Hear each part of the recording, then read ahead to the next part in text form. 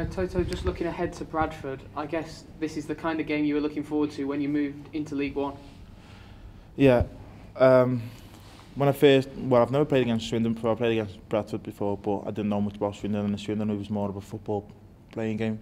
But then Bradford is it's still a bit of a football game, but it's more physical, isn't it? So it's something I'm really looking forward to, see what the difference is and testing myself, yeah. They're a team that have done really well so far this season. They play quite a high tempo and try to get the ball forward quickly. It's going to be quite a difficult test. Yeah, it's a, well, it's a big club as well, and um, yeah, it will be a big test. But if the gaffer and Doigi and the team believe in me, so I think I, I'll have, just have to believe in myself if I'm selected. Yeah. Is it the kind of game that, that you do relish, look forward to? Yeah. Uh, we had this conversation with Doigi just then about um, whenever there's a big team or big game there. doesn't really have to worry much because I sort of just kept myself up very straight away. But that's what I'd be looking to do. That's what I, I'd want to be up for the game and do well.